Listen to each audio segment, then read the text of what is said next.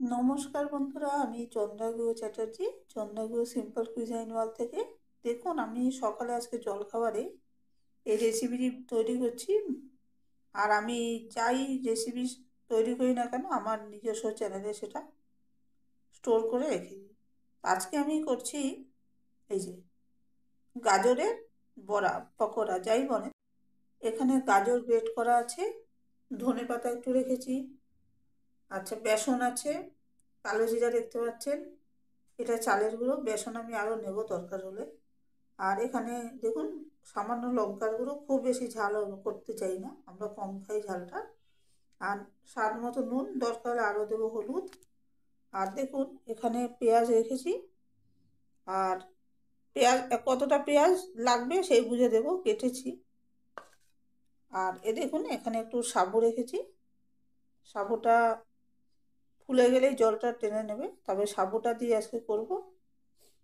এই হচ্ছে উপকরণ, আপনারা দেখতে থাকুন। আর এইভাবে গাজরের পকোড়া যদি বানান, বেশ মুখরোচক হয়। যারা গাজর পছন্দ করেন না, তারাও খেয়ে নেবে। এবারে দেখুন আমি কি করে প্রসেসটা করছি। একটা রিকোয়েস্ট একটা রিকোয়েস্ট আছে বন্ধুরা। স্কিপ না করে ভিডিওটা দেখবেন। যারা ইন্টারেস্টেড তারা দেখবেন, না হলে দেখবেন না, আর কি বলতে পারি। আমি এতে আরও কিছু বেসন যোগ করেছি, আর এতে দেখতে পাচ্ছেন সাদা তিল, আর একটু ওই যে সাবুটা, জল ঝরিয়ে এতে দিয়ে দিয়েছি।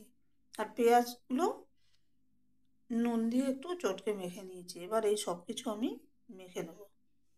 আমি তেল গরম করতে দিয়েছি। দেখুন, আমার সব কিছু মাখা হয়ে গেছে। এখন আমি এর থেকে খানিকটা করে নিয়ে তেলে ভেজে নেব। দেখুন, এই যে প্রথমে যেগুলো ছেড়েছিলাম, ওগুলো ভালো করে ভাজা হয়ে গেছে আর আবার কিছু ছাড়া হচ্ছে। বাকি অর্ধেকটা যে পেঁয়াজ কুচি রেখেছিলাম, ওটা দিয়ে এটা একটু অন্যভাবে করা হচ্ছে। সেই জন্য তাতে একটু জল আর একটু দিয়ে দেবো। আগে শুকনো করা হয়েছে, এটা একটু ভেজা ভেজা হবে। তো মিশিয়ে আমি আবার দেখাচ্ছি।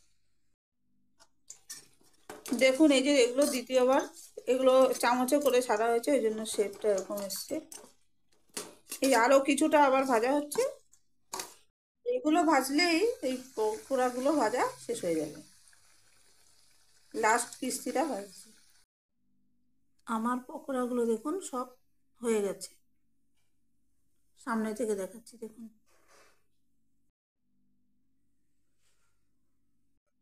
আমার ভিডিও এতক্ষণ দেখার জন্য সবাইকে অসংখ্য ধন্যবাদ।